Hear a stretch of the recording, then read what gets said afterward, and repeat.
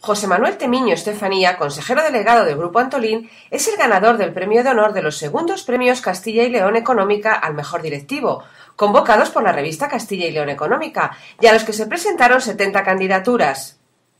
El resto de los galardones recayó en Miguel Calvo, consejero delegado del Grupo Norte, en la categoría de Mejor Directivo de Empresa de Castilla y León.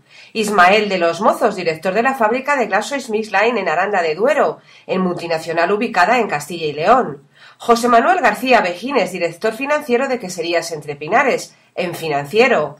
David Villagrá, director de marketing de Facundo Blanco, en Comercial y Marketing.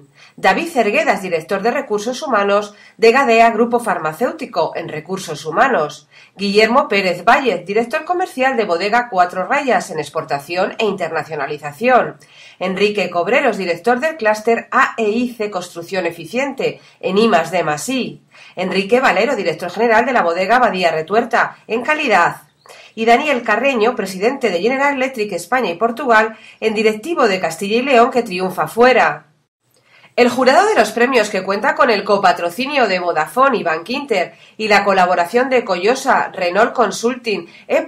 Interim Management y Connectix, estuvo compuesto por Jaime Revilla, presidente de Ibeco, Joaquín da Silva, su director general adjunto y director territorial noroeste de Bankinter, Miguel Ángel García, director territorial de Vodafone en Castilla y León, Antonio Fernández Álvarez, director general de Renault Consulting, Patricio Llorente, presidente de Coyosa, Emilio del Prado, socio director de E. Management, Carlos Martín Tobalina, director general de Industria e Innovación Tecnológica de la Consejería de Economía y Empleo, Carlos Ceruelo, vocal de SECIR y director de Everis en Castilla y León, Luisa Alcalde, socia fundadora de Castilla y León Económica y presidenta de DIRCON Castilla y León, y Alberto Cajigas, director de Castilla y León Económica.